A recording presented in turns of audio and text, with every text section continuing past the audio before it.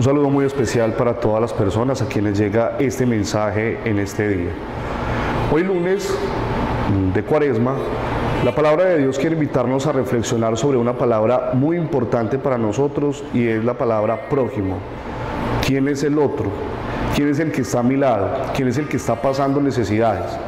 Y Jesús es muy enfático eh, en ese sentido, porque todo lo que hagamos con alguno de nuestros hermanos, lo hacemos con Él también que este tiempo de cuaresma nos sirva a nosotros para seguir explotando ese gran sentido de caridad, de amor y de fraternidad por los más necesitados y por los más vulnerables.